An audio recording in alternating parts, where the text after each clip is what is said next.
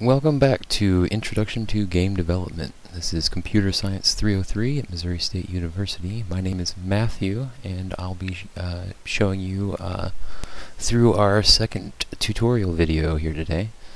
Um, let me preface our tutorial again with the disclaimer that I am not an expert.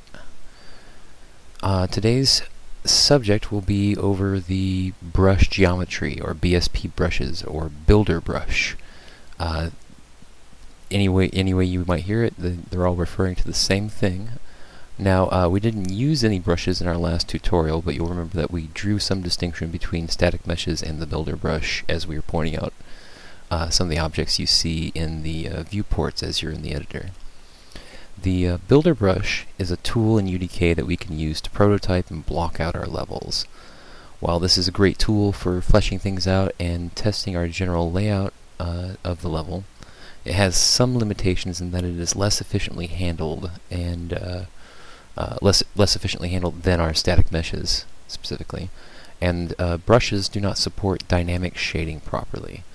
So we won't want to actually leave our brushwork in the level when it comes time to publish our game.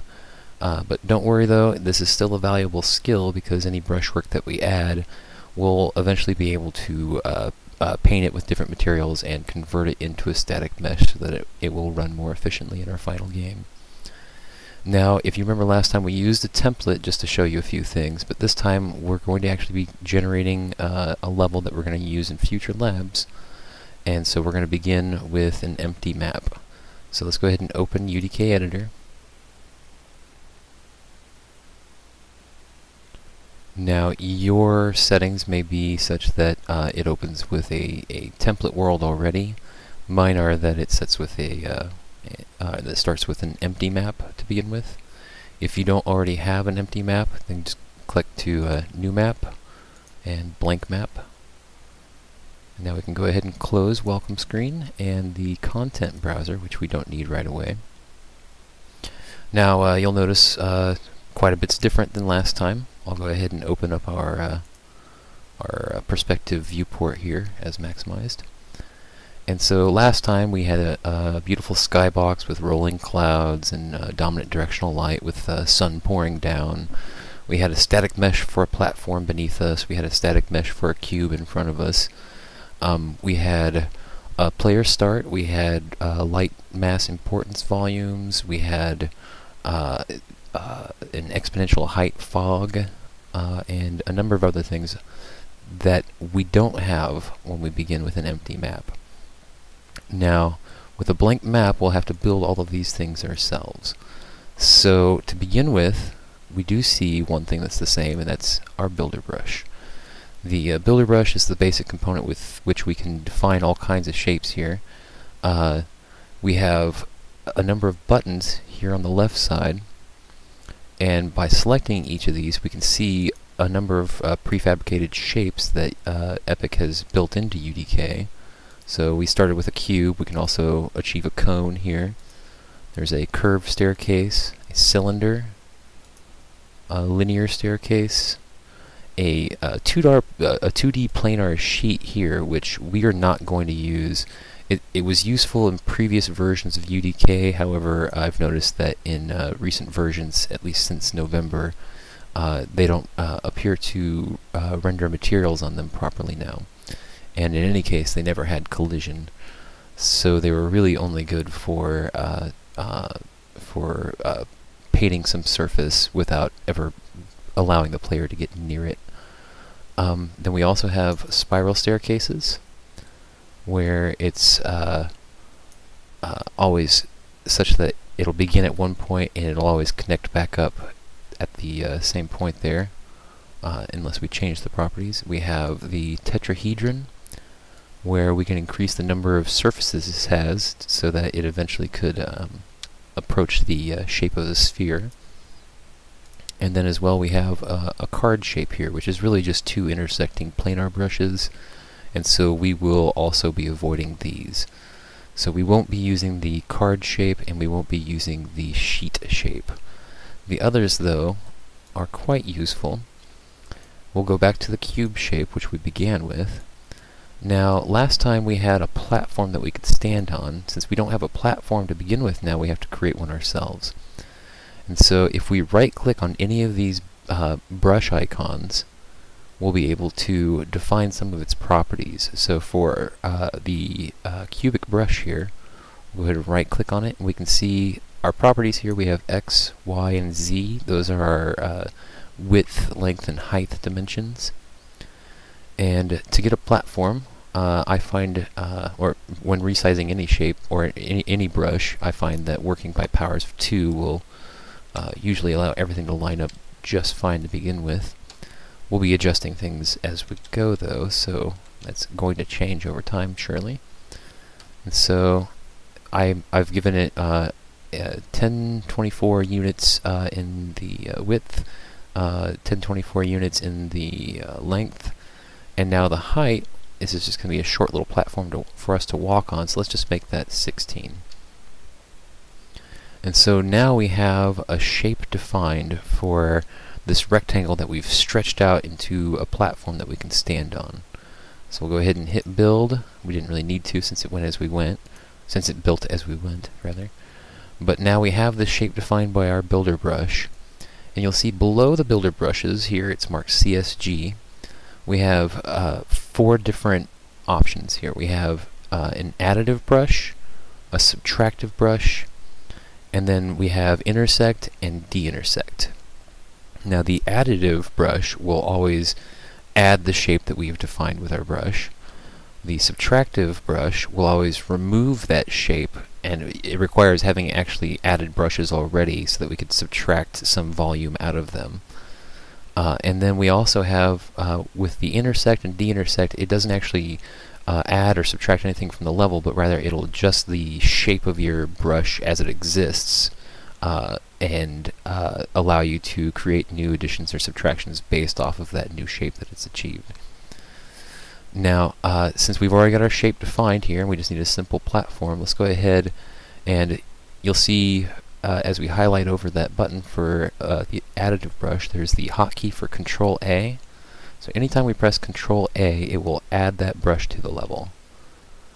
And seeing there, we automatically just created a checkerboard pattern here uh, on our uh, platform. This is the default material that's applied to all brushes that we might create.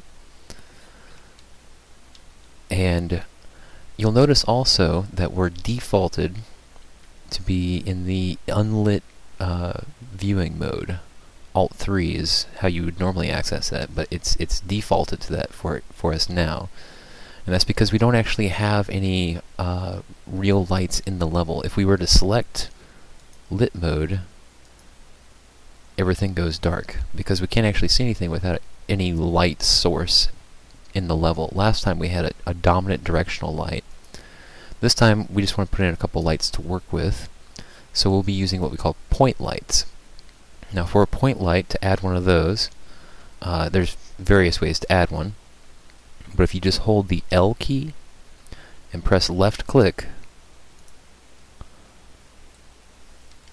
now we've actually added a I actually added two, let me delete one of them. So we have this point light that we just created, we can raise it up a little bit with our uh, translation tool. And we can see it as it as it is lit in the level. Unlit, back to the way we saw it a moment ago. Now with the lit, we can actually see it with the individual light source. Now these point lights, we can do a number of things with them, other than just moving them around. You'll remember if we press spacebar, we can go to the different uh, modes. So from translation mode, we can switch to rotation. It doesn't really affect the light though, since it's uh, omnidirectional. Press space again though, and it brings us to our scaling uh, uh, widget. With this, we can change the uh, radius of the light source, and we can expand it out. At any point also, we can right-click on that point light, and if you see here, point light properties, there's a number of different things we can change about it uh, for uh, uh, its it, the rate at which the light falls off, or even the color of the light, and uh, how uh, saturated it is, and so on. Uh, we won't be messing with any of that stuff right now, though, so just adding the light as they as they are, adding the lights as they are is all we really need to accomplish for now, just so that we have uh, uh, a little light on our situation here while we're working. And so now we don't yet have a player start position, but we could go ahead and jump into the level as as as we'd like right now. So if we went ahead, uh, we've built a brush, we've added some light. Uh, we haven't added anything that requires pathing yet since we don't have a player start. But let's go ahead and hit Build All. That's this button right here. So we have a number of different build buttons here. That was for geometry, light, and pathing. But if we just hit Build All, that will go ahead and select all of them. Now it's doing a number of things whenever it builds. Uh, it's uh, figuring out where all the brushes are so it can set the geometry. Um, it has uh, uh it es essentially simulates light by uh, emitting photons and allowing it to bounce off all those shapes, and it takes a little bit of time for it to render. Now you'll notice here we have uh, a few warnings here. Maps not built with production lighting, and also the map should have a kill Z set.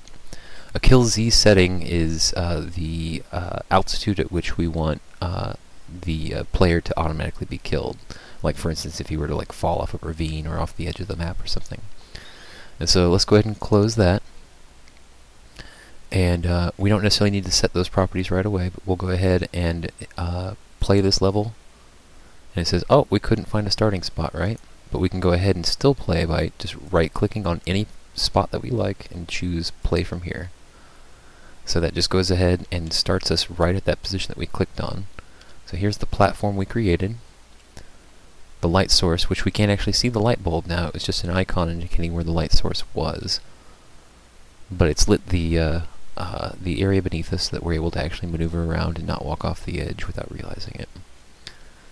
So we've got a start of it now, but we don't want to always have to choose some random location to play from here. So we need to add a player start of our own. So if we go ahead and right click, uh, add actor, and then add player start.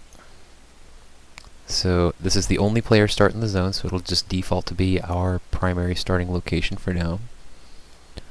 And while we're at it, let's go ahead and set that world view property. So if we go to view, uh, go to world properties rather, and now under kill Z, you'll see right here, we have it set at a, a an extraordinarily uh, uh, large value in magnitude. So let's go ahead and set that to zero. And that's not very far beneath us, but we don't necessarily need to be falling for uh, any amount of time if we've fallen off the edge, since we're just prototyping our level now. So we've set that, and uh, I also like to go ahead and set the default game type like we did last time to UT Deathmatch. That way we can go ahead and spawn bots if we need to, and uh, I just uh, prefer testing with a gun in my hand. So we'll go ahead and close those. And now if we hit uh, right here, you'll see paths need to be rebuilt. And since we built everything before adding that player start, now if we go back to build paths, we can just build paths indivi individually. So again, we have the warning map not built with production lighting, but that's fine. So we'll go ahead and close that. And here we are again.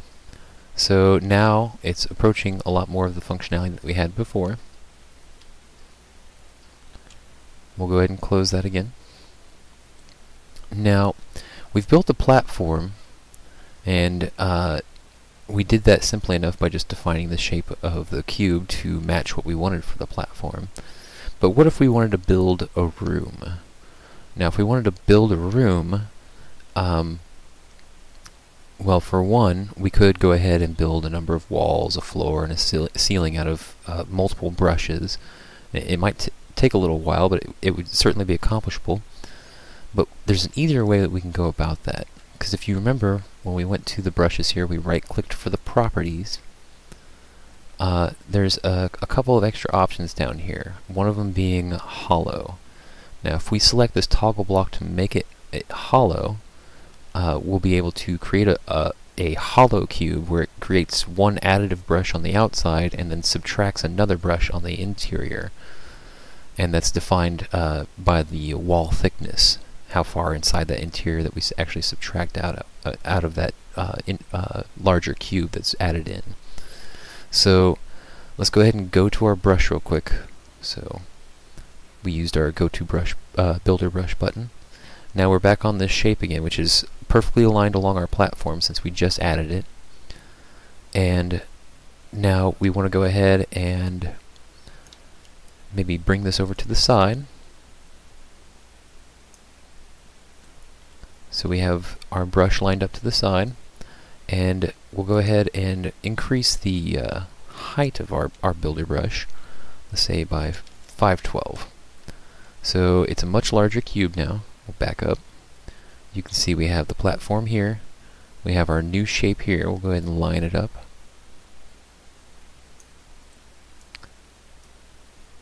And this would be a point when it would actually be perhaps easier to see this in our 4 viewport mode. Where, as you can see here, this is the side view. We can see exactly where we line up.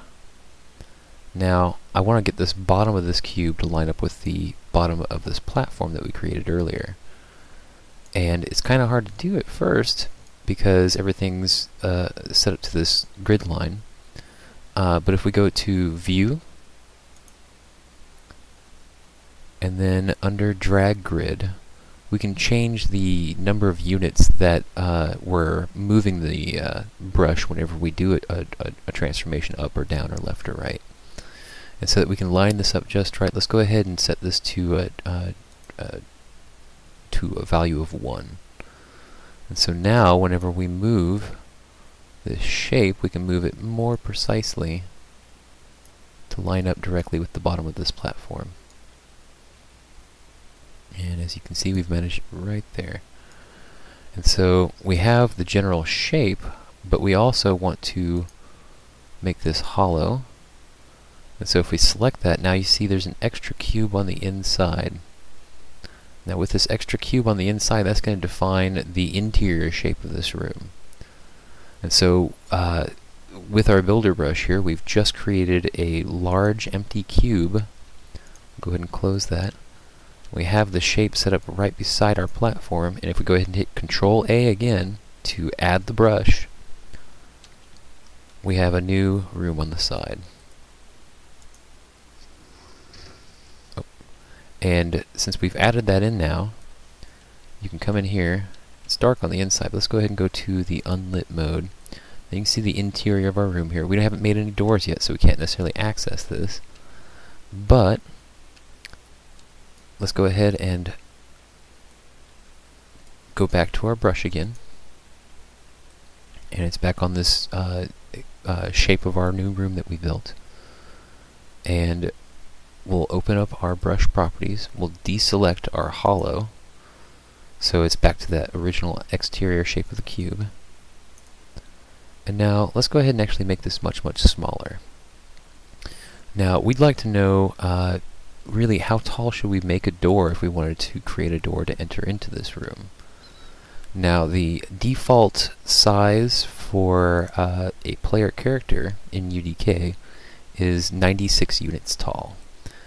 But uh, we don't always want to be uh, comparing our uh, sizes and shapes to uh, a handful of numbers. Um, so what might be useful for us is to add a skeletal mesh from the content browser into our level so that we can use it as a frame of reference for what the general size of a human character should be in the game.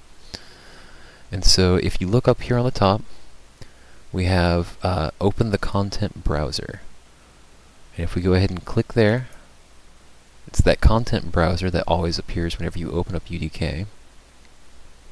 And now, uh, if uh,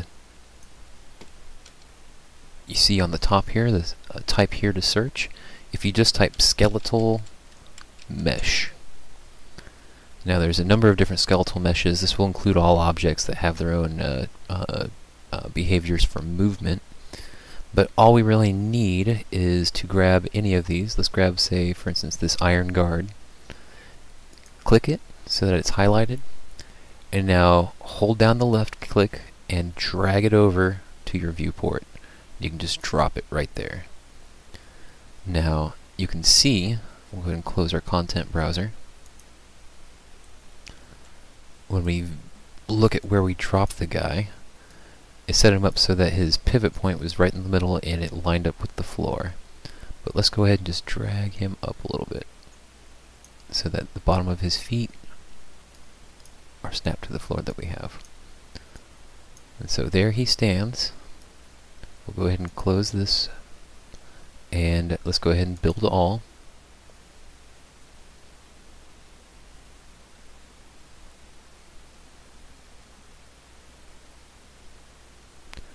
So it gives us a little warning here that he uh, uh, casts a shadow but has no physics assets assigned. Uh, don't worry about that for now since we're only using him as a placeholder to know how tall we should make our uh, doors and uh, windows and stairs and whatnot. Let's go ahead and close that. So now when we go ahead and play, we have our platform, we have uh, the exterior of that room that we just built, and here we have a little guy who we can move around in our level to define how tall our door should be. He doesn't actually do anything, he just stands there. He's kind of a boring guy. We'll teach him to do more later though. And so now we want to build a door. To build a door, uh, we've already added in some brushes, right? And we have this other option to uh, subtract a brush. But we need to define the shape of the door itself, align it on that on that wall, and then we can use our, our subtractive property here to uh, be able to remove that section of brush so that we can walk through there. And so let's go to our, our builder brush right here and go back to our brush properties and let's make them a little bit smaller. We know it's 96 units tall. Uh, we can compare it with the size of our guy here that we've just put in uh, whenever we're done. But let's go ahead and let's say uh, let's make this uh, 128 by 128 and uh, let's say 256. And we'll go ahead and build that. And so here is our brush right here. And it might be kind of hard to see. If, if it helps you, you can go to the uh, brush wireframe mode. Now if you remember, uh, when we used wireframe and brush wireframe earlier in our first video, we couldn't really tell a difference. But now that we've actually added uh, brushwork to the level, uh, here we can see that wireframe is showing all the geometry as it is, where the brush wireframe gives a specific shape for every single brush. And we'll also be able to see a little bit of difference here whenever we've added this brush, or whenever we've subtracted a section of it, because our subtractive brushes will have a different color. So here we've got our brush that we just created, its its uh, its shape, and let me get it back to an unlit mode here. So now let's go ahead and bring this brush down a little bit to line up with our floor. Might be easier to see in our side view here. And so let's bring this down until the bottom of it lines up with the floor. And now we have it lined up with the floor and go ahead and close this. Now here's the brush here as well from this side and it looks like it's pretty well lined up evenly across the center. We'll go ahead and bring this over just a little bit there. Okay. And now we have it lined up where we want the door, but it's really more brush than we need. We only want to subtract just the section of the wall that we want to walk through. And so if we go to the subtract, or sorry, to the uh, intersection here, it will take where our brush is right now, look for any brushes that intersect with that volume, and then readjust the size of the brush to match that perfectly. And so if we hit intersect, boom. Now it, it just shrunk to be the exact dimensions of our wall. If we hit Control S, we just created a door. And so here's our door. We can walk through it here. Now, if we go ahead and let's go ahead and build all.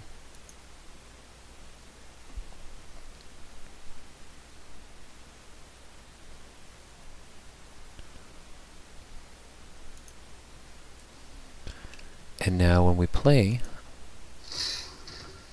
here we are. We can see the door we just created. We can walk through. It's awfully dark in here, but we can still see outside. We're okay.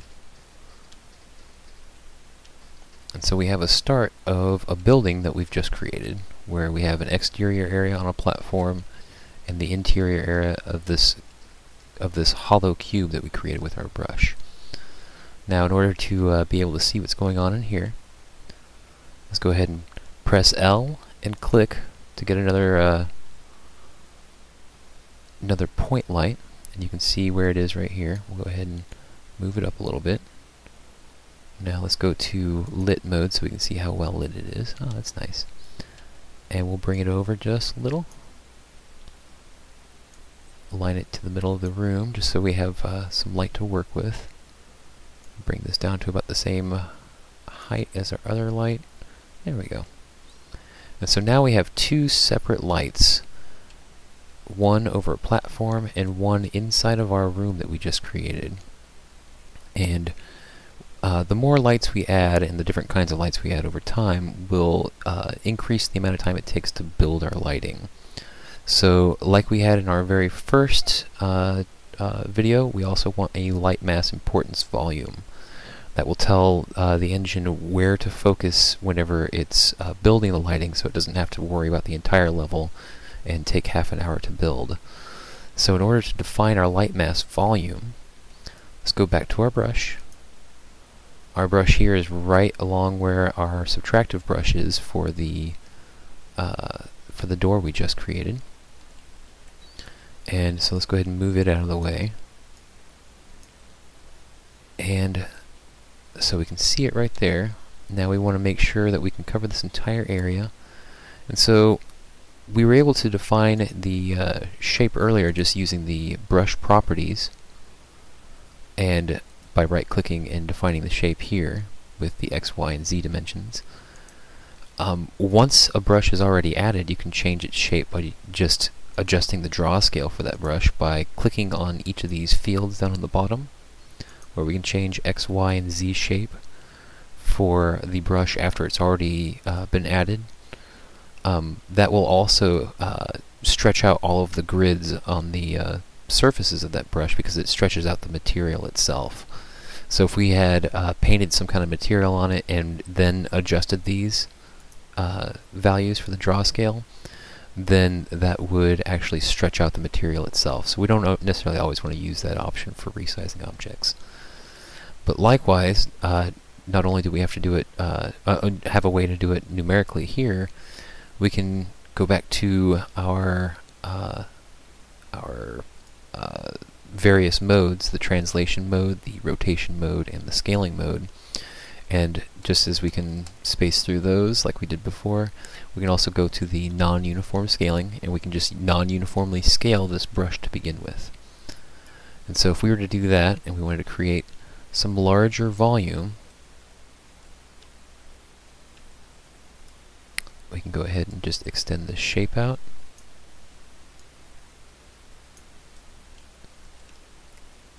Make it larger and larger, and actually, we can do it that way. It's not necessarily the best way. I just wanted to show you this way as being an option for you. And now let's get the uh, top-down view. So where are we here? Okay, so here's our brush, and we want it to cover our entire area here. So let's go to the non-uniform scaling again and extend it out. We've adjusted its pivot point here, so it's not necessarily uh, easy to see what's going on here. And getting this box down to the right size. So we've got it going just over the entire area there. We'll move it over, slide it up, and then let's make sure we got enough volume in the uh, Z direction here. So if we look down from the side, you can notice the brush only goes halfway up the building here. So back to non-uniform scaling, we'll extend it out in that direction. So now we have a large rectangular brush that covers both areas, the platform and the room that we just created. and it's this this overall larger shape that encompasses the entire area that we've just built. And now, if we go to volumes, this is just below the brushes in CSG. We can see there's add special brush or add volume. We want to add volume, and this is the Lightmass importance volume right here. So we've added it. We can't necessarily see it right away, but one thing we can also do, if the brush is in our way from seeing what we've just added, you can press B, and that will make your brush disappear. And so now we can see this yellow outline here. This is the Lightmass importance volume that we just created. Uh, the Lightmass importance volume uh, now being set, our lighting should build much more quickly if you were experiencing trouble before. And of course we can always press B again to bring back our brush so that we can see where it, where it, it is and um, so now, let's go ahead and build all.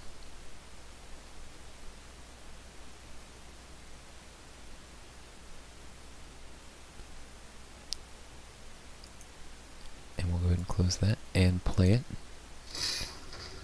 So we have a nice little start here. We have our platform. We have our uh, human-sized reference model.